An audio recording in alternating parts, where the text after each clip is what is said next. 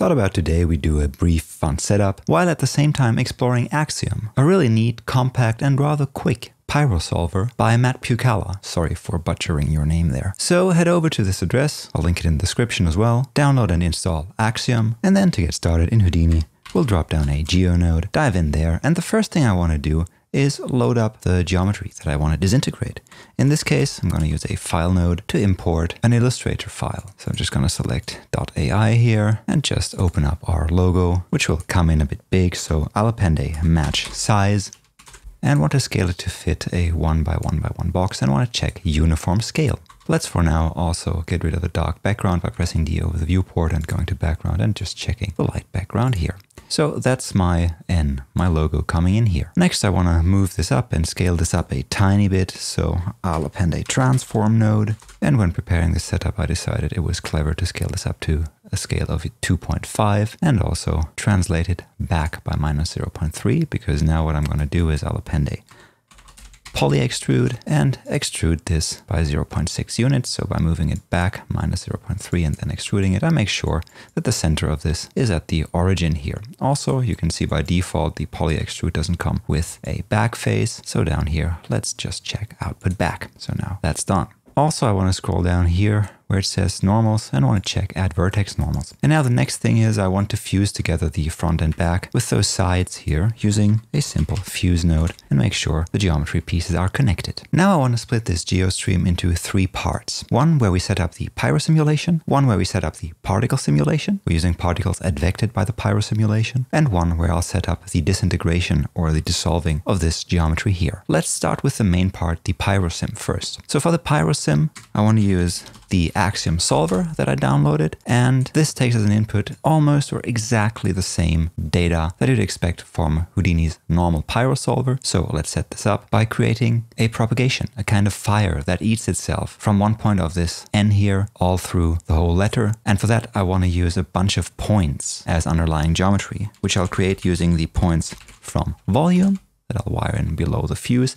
And by default, you can see that's set up in this grid fashion. So my points will be regularly spaced apart. And those points are spaced apart a bit too far. So let's decrease their separation and now this grid is way denser. However, this regular grid will result in artifacts. You can already see them here, those lines shining through. So to break up this regular grid a bit, I will increase the jitter scale to just one. And now you can see these points being randomly distributed within that letter. Next, I want to select a few points and use them to start my spreading of the fire or of the pyro simulation. To do so, after the points from volume, I'll just add a group node, which I'll set to points, call the group start, like this, and then just scroll down here, disable the base group and check keep in bounding regions. So there I can specify and move around this, in this case, cube or a bounding sphere to select a few points down here. Just gonna enter a few values, which I found fitting when preparing this setup.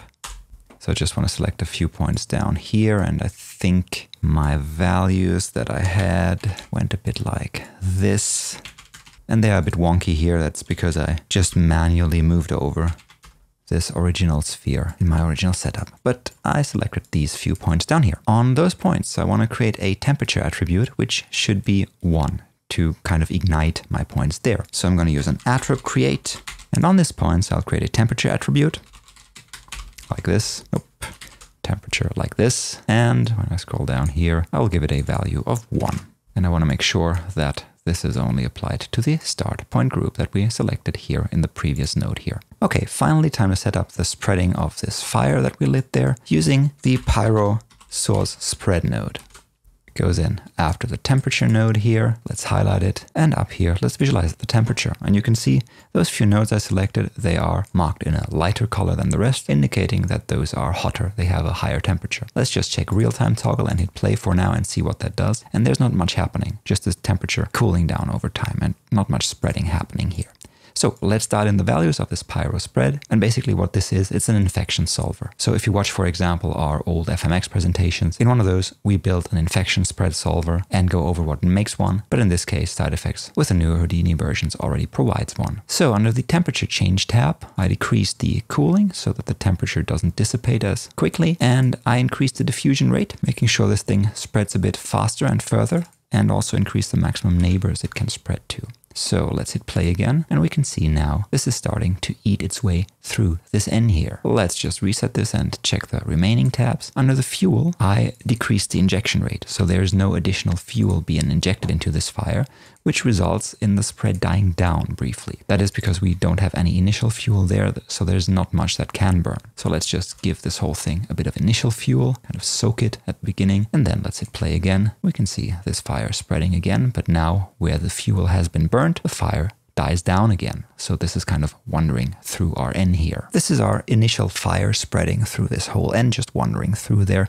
and which we're going to use to set up the pyro simulation now. For that, after the pyro source spread, I want to attach a blast node, and in here I want to delete points, namely all points which temperature value is below one. So I only want to keep the hot points. That means when I hit play, the animation looks a bit like this, and it's this wandering wavefront through my N. Now, finally, we're going to set up the data for our simulation by using a pyro source node goes in after the blast down here. And we're going to use this node to create a bunch of attributes on our points that we have here, those red ones. Namely, two attributes. One, the density, controlling how much smoke, how dense the smoke is that we emit into the scene, and the temperature, controlling that smoke's temperature. So I want my smoke to be rather dense, by increasing my default value to 10 in the density slot. And my temperature, I want to scale that back a bit by a factor of 0.1, so make it very subtle, a very low temperature. So now, apart from a few other attributes, I've got my temperature and density stored on those individual points here. So let's rasterize them, turn them into volumes for our simulation.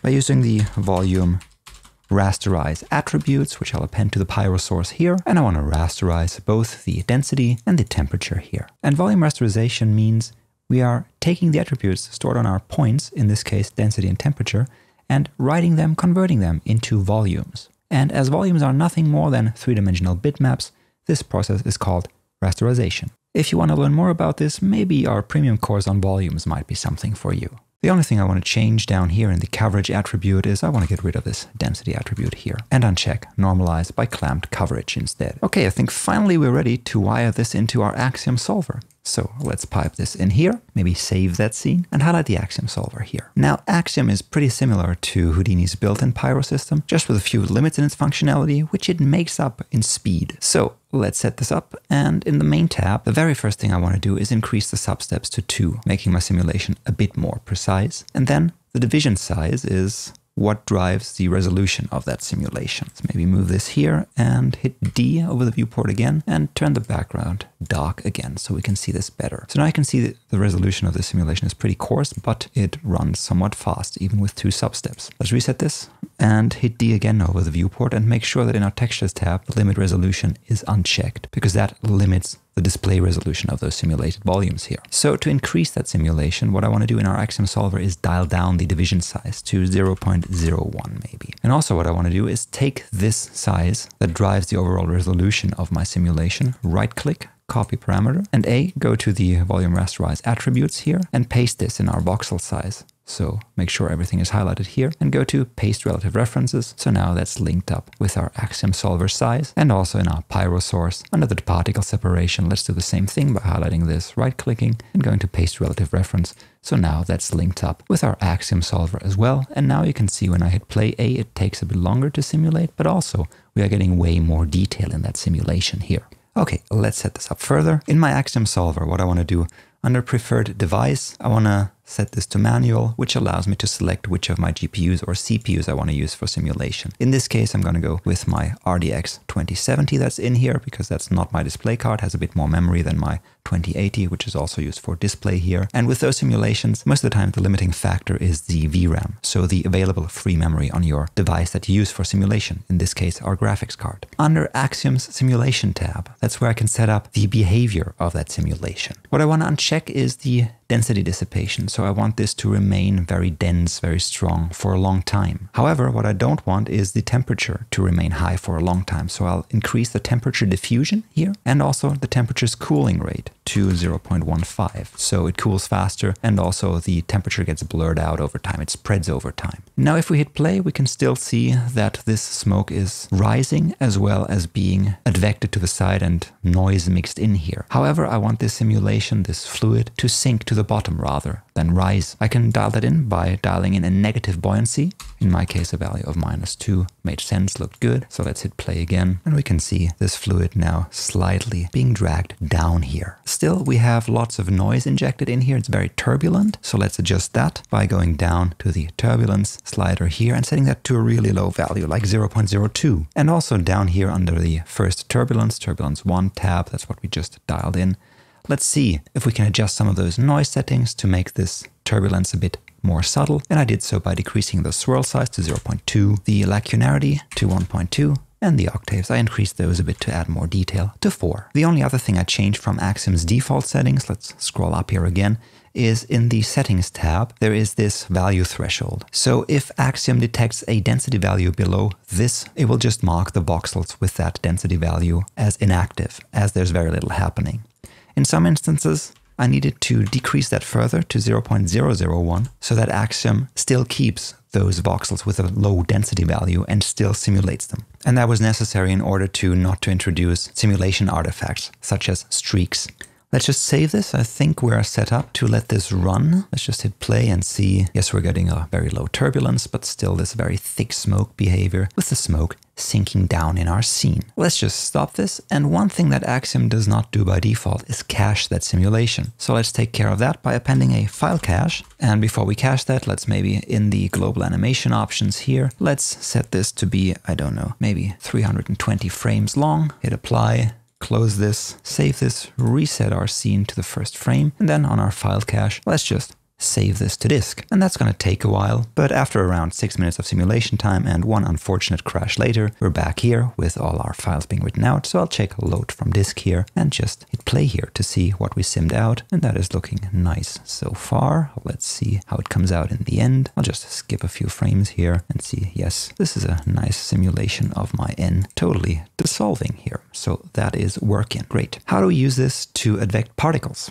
Well, first we're going to create a few particles which we're going to advect. And for later, to blend those particles kind of seamlessly with our initial N that's coming in here, I need my particles to protrude a tiny bit through this N's surface here. So what I want to do is take this fused N here and to it attach a peak SOP in order to kind of inflate this n in a cheap way. So what peak does is it just shrinks or expands this n here, and it only works in this case in a very tiny margin. However, I don't need much, just 0.0025 units to just marginally expand this n, just make it a tiny bit bigger. And also now I can recheck, recompute point normals. Because what I'll do with this is I'll feed it in the points from volume again, just as we did with our main simulation. And also in here, I want to increase the jitter scale to 1 and decrease the point separation quite drastically to 0.01, like so. So we're getting really dense particles here. And also, I want to animate this jitter seed per frame. So just a quick expression, $ff, we'll just write our current frame as a jitter seed in here. So now that I hit play, you can see those points wiggle about. Now what I want to do is, in a similar manner that I did down here, from my dense particles, delete all points that are not in this area where we have this points with a high temperature, so where they are burning. I could do that with an attrib transfer and a blast node. However, I find it easier to just write out two lines of vex using a point wrangle. So my main particle points go in the first slot here and the blasted burn points go in the second slot here. And then actually it's three lines. First thing I want to do is I want to find points nearby using the near points function. So I want the closest point to any particle coming in here. So to any particle coming to the first input slot, I want to look for near points on the second input slot. That's the one with the ID 1 from the current particle's position within a distance of 0.025 units. So if there are really close points to one of those particles, then we'll just leave that particle. And if not, so if our NPT value is below zero, then we'll remove the point or the particle from which we're currently looking for points nearby. So coming into the first input slot and with the current point number we're working on. So that results in only those particles being kept that are really close to our propagating fire front here. Again, could as well have done that with an attrib transfer and a blast node, but I find that a bit quicker. We're going to use these points we created to feed them into a pop net, into a particle net. So that goes into the first slot, and our file cache with the pyrosim here goes into the second slot of that particle network. Let's dive in there. And the first thing I want to do is under the source first input here. Well, the very first thing I want to actually do is reset this to the zero frame. And then under the source first input here, I want to set the emission type to use all points. So anything we wired in here will be used as a particle. Let's just drag this down and check. Yeah, that's fine as is. Let's go to the birth tab. Also, that is fine as it is. So I think we're okay with how these particles are being created here. So if we hit play on this one, we can see that yes, particles are being created. They are blue here. However, they are not being advected or not being moved about by the volume that we fed into the second input slot here. Let's just middle mouse and see what comes in here. A density, a temperature, and a velocity. And what I want to do is use this velocity to actually move those particles that we created here around. So let's dive into the PopNet again. And after we created those particles here from the source node, let's attach an advect by volumes node here. So I'll wire that in straight here. And inside, I want to set this up to take the second context geometry, that means this slot here, as our input. The field is called vel for velocity. So when we middle mouse on this, that's fine, as this is called vel. Velocity scale set to 1, that's fine, so we don't scale it in any means. However, I want to set the advection type to update the velocity in our simulation and then the velocity blend to 1 with the advection method to trace midpoint. So instead of creating a force out of this velocity, we're just updating the particle's velocity directly, and we mix in this velocity from our simulation by 100% per simulation step, and the advection method takes care of if we have large steps, large velocities in our pyrosim, we're not just simply moving around those particles in a single step, but take a few sub-steps to add a bit more precision into that advection. All right, let's just save this and let this run. And now we can see that our particles here are being moved around by the velocity that comes from our pyro simulation. So that is working. Let's just reset this, go up one level. And the final thing I want to set up and take care of is of dissolving this solid N that we created up here. There are a few methods which I could use, but as always, I'm going for a stupid simple one. That's how I roll. And what I want to do is take these points from my Pyro source spread here. Let's just highlight this. And in the Pyro source spread, let's just visualize the total burn. And I want to use that total burn value to drive which areas of my solid N geometry up here are transparent and which ones are not. I could do that by giving this solid geometry UV maps and then projecting and baking this total burn value from my pyro spread onto this UV map and use that for rendering, which would actually be an elegant and very clean method of doing this. However, you know me, I'm going for a stupid, simple, non-baking version of this, which in this case I got away with and it worked. So let's do that. The first thing I want to do is remesh my N and make this a really high-res mesh because I want to store the transparency of that N in those areas on the mesh points on the mesh geometry itself directly. So I'll use a remesh node that goes in after the fuse and I want to wire up both slots of that remesh to the fuse so we keep the edges from that N. And before we execute this node here, let's set its remesh iterations to 8. Let's drag this down and set the target mesh size to 0.01, so a really high-res mesh.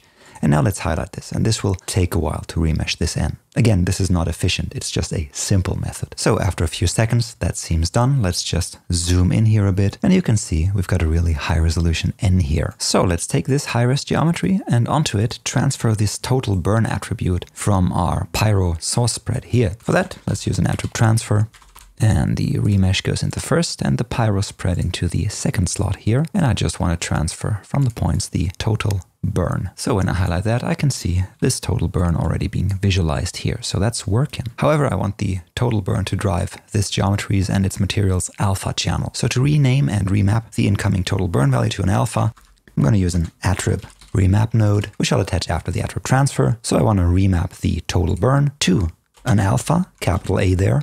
And I want to make sure that the areas where my total burn is high have a low alpha, so they are transparent. I'll do that by just inverting, switching the output min and max values. So output min is 1, output max is 0, like this. And in my case, I found it useful to just remap the total burn to range only from 0 at the first position to 1 at position of 0.2 like this. One more thing to kind of hide this edge, this propagating edge, where my geometry is becoming invisible, is to use an attribute blur, widen after the attribute remap set to blur out my alpha without having the border points checked and running quite a few blurring iterations, maybe 96. So this will get blurred out over a wide range as you can see here. So now when I attach a visualize node to this and set it to visualize the geometry's alpha value here, like so, You can see we're getting this blurred out alpha where the fire front is propagating through this. Let's drag this to the side and to this one attach a null, which we're gonna call and drag down. Call it out underscore entagma in. Also to the popnet here, let's attach another null. Call this one out underscore particles. And that's the one we're going to be highlighting for this node here. Let's go up one level to the OBJ context here, add another geo node there, call this one solid, dive in there, and drop down an object merge which up here we're going to point to our geo1 out entagma in. So that's where our main solid geometry lives, like this. Let's just quickly set up a camera by control clicking here on the camera icon. Make sure this is not rotated in any way. And let's center it to 0, 0 and maybe let's go back a bit, 15 units. And in the view tab, let's increase the focal length to maybe 75, zoom in a bit. And what I want to do now, as ever so often, is attach a grid to this camera, just like this, diving in there, setting up this grid to be along the XY plane, then going up again and moving this grid negatively along the Z axis, so push it into the scene until my geometry that I just set up starts appearing. So we are out here quite a bit. Let's just set this to minus 16.2. And then in my camera, maybe under the transform tab, let's move that down a bit so the N sits a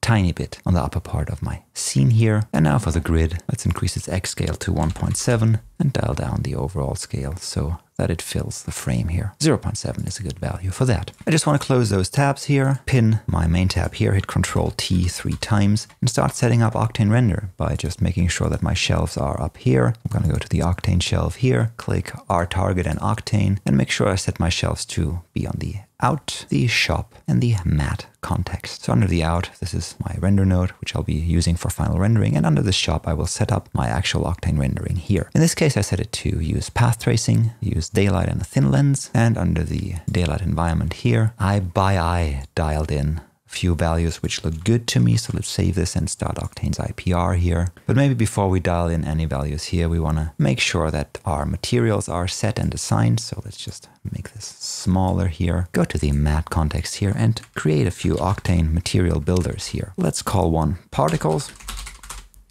copy and paste this, call one solid, Again, copy and paste this and call one BG for background. Let's start with a background that's simple. All I want to do here is add a diffuse material, wire this into the material output slot here, and on the material itself, I set up a diffuse value of 0.15, just a darkish gray, like this. Let's go up one level and drag this BG onto the background plane here, so that worked. Let's set up the solid for the letter here, so dive in there, and also use a diffuse material here, which I'll wire into the material out slot. And on this material, I want to set up the diffuse value to be, yeah, 0.666. However, I want this to have a bit of transmission, so I'm going to use an RGB color, which I'll wire into the transmission slot and set that RGB color to be of a 0.9 value, so rather bright. And finally, I want to read in the alpha, so I'm going to use a float vertex attribute here, which goes into the opacity slot and which I'll set to read in the alpha from that mesh that we set. So let's go up one level again and drag this solid material onto our solid N here. And now you can see that also worked. However, let's just check by going to the OBJ tab and disabling the particles geo visibility. And just on the Octane IPR, click full reload and reload the scene. Let's check why that's not reading in our alpha. So on the solid under the Octane tab, I want to make sure to go to the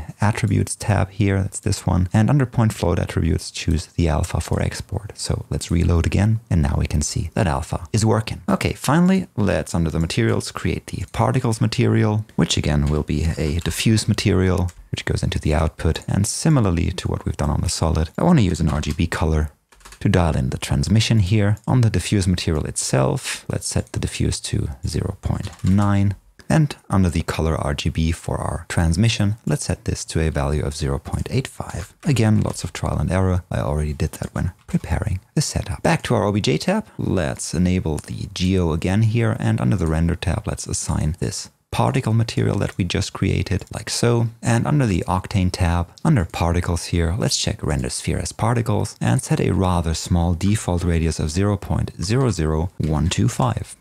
Now let's reload this and you can see we're getting those particles dripping down from that in. Finally, let's again head into our shop here and set up our lighting in the daylight environment tab. And that was lots of fiddling around. On my side with those values, I ended up at setting a latitude of 5.4, a longitude of 140. It was February the 1st at a local time of 11. And that is my basic lighting in here. So now I'll head over to the Imager tab and dial in a few settings here. What I did is I checked natural response, used my beloved Kodak Portra 800 curve, increased the highlight compression quite substantially to 0.8 so those whites don't blow out as much, decreased the saturation because this was a bit too tinted from the skylight in my opinion, added a bit of saturation to white, and increased my exposure a few clicks to 1.3 like this. Then I went to my camera settings here, disabled autofocus so that now results in a blurry image. However, you can counteract that by going to the OBJ level again in your camera. And under the sampling tab here, just increase the f-stop to n. And under the sampling tab here, go to the f-stop and increase that to quite a grotesque value. I think I went with a million. So now that image is sharp again. Back to our shopnet, to our Octane render target. In the path tracing kernel, as these particles have transmittance, so a translucency fake on them, I needed to increase the diffuse depth to 48 bounces for this to come through. So now you can see this has gotten a bit brighter. However, as there's not much going on specular or scatter wise, we can decrease our specular and scatter depth to 4 bounces each. Clamp RGI just in case to make sure we're not getting fireflies to a maximum light value of 20. And all I want to do down here is uncheck minimize net traffic as I'm not network rendering here. So this updates the IPR a bit quicker. And then I found a maximum sample count of 128, rather low value. I found that sufficient for this case. Let's save this. And the only other thing I want to do before rendering this out is on the out context in the Octane ROP here is make sure that my rendering mode is set to full scene reload. I need that in order for the alpha values to come through correctly. Then under the output tab, I disabled override mplay frame so I could watch my animation as it renders, then checked output image files. And what I like to do is instead of using this expression here, which just creates a render directory and then writes in just a bunch of files into that render directory, I like to create another subdirectory with the HIP name and then just use a four number file name for my individual files. I disabled automatic intermediate color space and set my file format to be PNG 16-bit and forced the tone mapping. And finally, under motion blur, the important thing is that you enable particles motion blur just to be on the safe side and exclude any mistakes. I checked all of them, although the particle motion blur is the important one. And actually, I think the only one that counts in this rendering. But you know, I'm being paranoid here. And that's it. Now you just set this to render the frame range, maybe close the IPR beforehand, save this, and hit render to disk.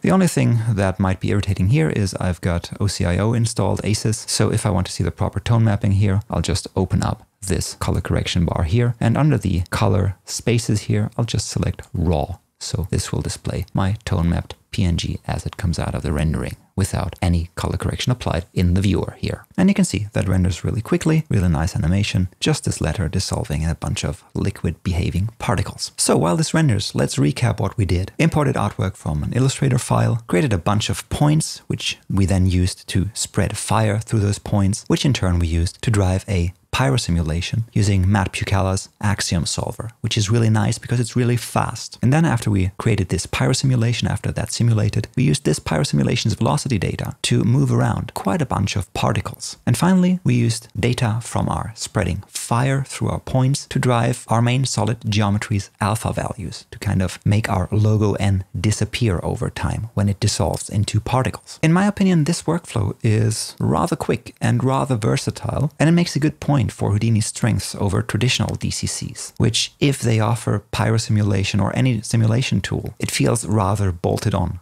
than really tightly integrated. And even here, we're using a single person's third party plugin, the Axiom Solver by Matt Puchala, and even that feels fully integrated into the environment. Because the ability to move attributes over freely in your node graph in Houdini is something that, in my opinion, only Houdini offers. I haven't seen it in any other 3D tool so far. And that's what, in my opinion, truly makes it a rather powerful tool. But as always, I'm intrigued to hear your opinion on that. So let us know in the comments. And if you want to learn more about Houdini, a bit of Unreal, or just plainly want to support us, you might want to head over to our Patreon. And to everyone already supporting us, thanks so much, folks. Without your help, Entagma in this form would just simply not be possible. With a very special thank you going out to important looking pirates, Sean Edwards, Chris Hebert, and Refik Anadol. Thanks so much, folks. So, as always, until next time, it's cheers and goodbye.